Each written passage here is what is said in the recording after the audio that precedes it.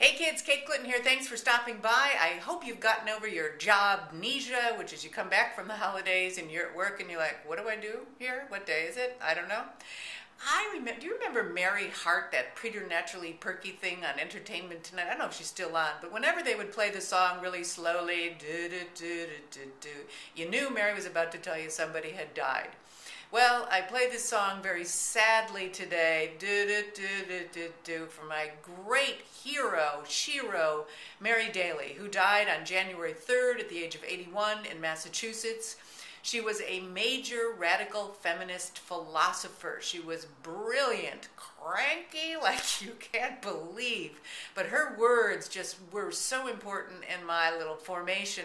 She wrote the book uh, Beyond God the Father, and it totally took the top of my little recovering Catholic head right off. Thank you very much, Mary Daly. She wrote another book called Gyn/Ecology, which was an amazing critique of the patriarchy. That's how we used to talk. And uh, she, she talked about God as not that anthropomorphic guy with a big white beard, but actually as uh, God is a concept of a verb, being. And she urged us to get into the swirl of the energy, the spiraling. Ah, she was so much fun.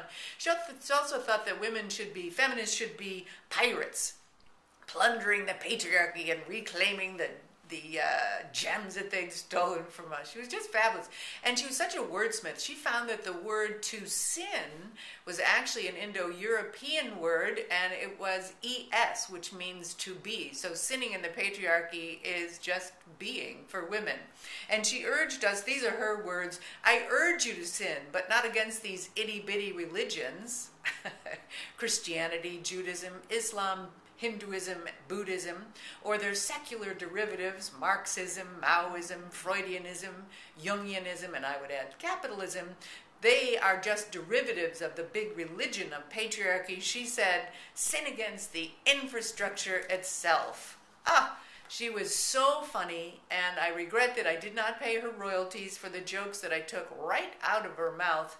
But today, in honor of Mary Daly, or Mayor Daly, as I like to think of her, I'm going to put on my pirate eye patch, eat a big bag of pirate booty, and go out there and just do some original and mortal and venial sinning.